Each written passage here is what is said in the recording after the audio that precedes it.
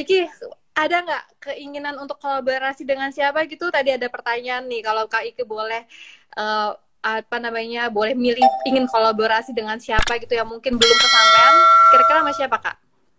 Kalau aku itu berkolaborasi dengan siapa aja, aku tuh pengen banget dengan semua para pengen musisi, aku pengen. Lebih Gak tepatnya dengan seniman. Siapa? Dengan dengan seniman, aku tuh siapa aja karena aku senang semua genre. Genre apa pun aku dengerin, aku hargai gitu.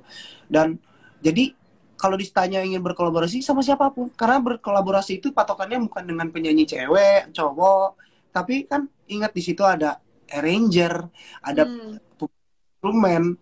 dan aku, dan seniman itu banyak hal. Mungkin kita bisa berkolaborasi lewat dengan penulis sastra, harus penyanyi ya, hmm.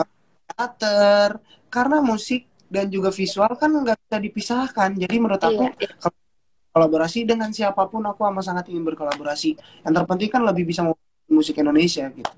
Dengan Kak Mahal ini gitu Kak, sekarang mungkin jangan-jangan ada rencana duet? Amin. Kalau kita Amin. kalau aku ini kebetulan udah bikin, bikin lagu gitu. Oh, oke. Okay. ikut. Jadi ya mungkin manja-manjaan ada, tapi kan kayak kata kadang kan plong ya kalau nggak ingin jadi ketika bikin lagu bareng tuh semuanya uh dicurahkan di lagu. Uh. Wah, kita nunggu banget nih karyanya dengan Kak Mahari. Ini ada yang nanya lagi nih. Kak, ini inspirasi paling banyak katanya dari siapa nih? Ana Fitriana 74. Kak Iki tanya dong saat nulis lagu paling banyak inspirasinya muncul dari mana? Kehidupan nyata atau hanya karangan hayalan aja atau gimana gitu? Oh. Okay.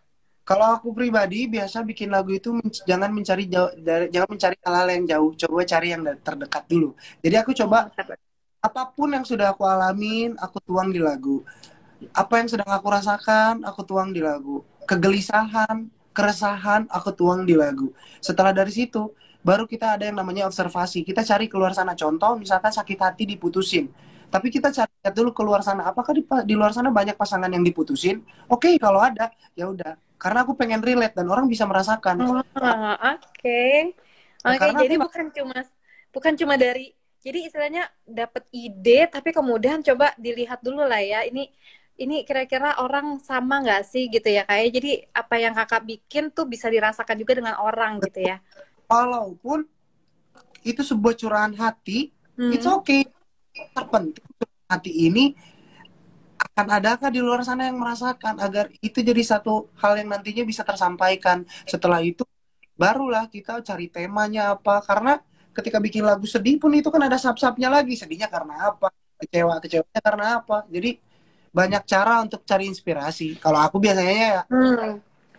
kamar biasanya kayak gitu. Dalam waktu terdekat apa cita-cita atau mungkin apa goal gitu dalam waktu dekat ini?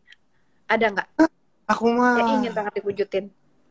Yang ingin diwujudin mah aku pengen banget. Pokoknya bisa bikin album karena lagi proses. Terus juga aku bikin karya-karya.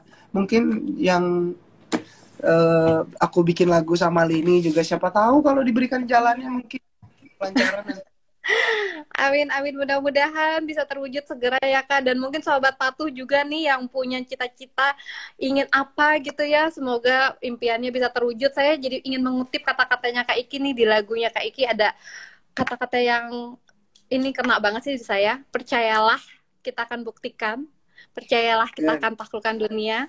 Harapan jadi nyata, impian kan terwujud karena kita bisa. Gitu ya Kak ya. Kak sebelum kita closing, ini banyak sekali dari tadi orang langsung kapan nih nyanyinya nyanyi boleh dong gitu Kak Iki nyanyi katanya gitu. Boleh, boleh. dong Kak. Nyanyi ya, mau nyanyi apa nih? Saya karena dari tadi ada yang minta kesempurnaan cinta ada yang minta uh, apa tadi sampai apa akhir sampai tua bersama, sampai tua bersama gitu. Ada banyak sekali. Ku akan selalu menjagamu hingga akhir waktu selama nafas ini berhembus tak akan ada cinta yang lain hingga tua bersama.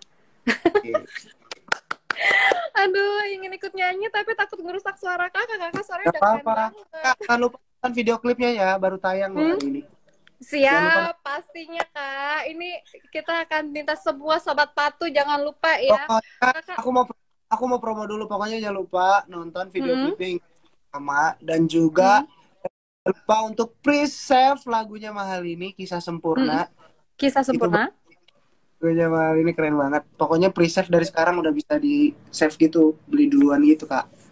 Guys, oke siap tuh sobat patu jangan lupa ya langsung segera. Nah, ini kayaknya kurang banget deh 30 menit. Aku dari tadi bisa nggak sih nambah lagi gitu ya. Kayaknya nggak berlama kayak. Kayaknya nggak cukup kan 30 menit nih. Kayaknya next harus uh, ada lagi nih pengulangan. Kayak gini. Kayak gini kayaknya uh, pada akhirnya waktu juga ya yang memisahkan kita. Terima kasih banyak ya kak atas inspirasinya, sumbangan suara merdunya, kemudian uh, saya yakin banget nih setelah uh, Sobat Patuh mendengarkan cerita dari Kak Iki pasti lebih lagi termotivasi dan mudah-mudahan jadi mau mengikuti jejak langkahnya Kak Iki yang mulai dari pemalu kemudian mau mencoba berusaha walaupun ditolak-tolak tapi terus berjuang oh. gitu ya sampai akhirnya bisa sampai di titik ini. Ini luar biasa banget ya.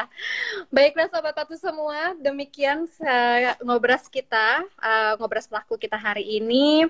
Semoga diskusi hari ini bisa menjawab pertanyaan uh, sobat patuh ya dari tadi banyak sebenarnya pertanyaan tapi mohon maaf saya tidak bisa bacakan semuanya karena banyak sekali tapi mudah-mudahan um, diskusi dengan Kak Iki sangat bermanfaat dan live Instagram ini kita rutin lakukan setiap hari Senin dan Jumat malam. Jadi sobat patuh nanti bisa untuk mengikuti lagi mungkin dengan narasumber-narasumber lainnya yang pastinya juga akan keren-keren deh. Nah, jangan lupa untuk follow akun Instagram, TikTok, Facebook, YouTube-nya Satgas Bidang Perubahan Perilaku ya. Kak Iki aja udah follow. Ya Kak Iki ya. karena kita akan selalu update informasi seputar Satgas Bidang Perubahan Perilaku dan juga uh, kondisi terupdate mengenai pandemi COVID-19. Baik, kalau oh. begitu jangan lupa selalu ingat pesan Ibu nih, Kak Iki, pakai masker, jaga jarak, jauhi kerumunan, dan cuci tangan pakai sabun. Baik, terima kasih semuanya. Kami undur diri. Selamat malam semuanya. Ya, terima kasih banyak Kak Iki. Bye bye. Terima kasih Salam tangguh. Bye bye. Bye bye Kak.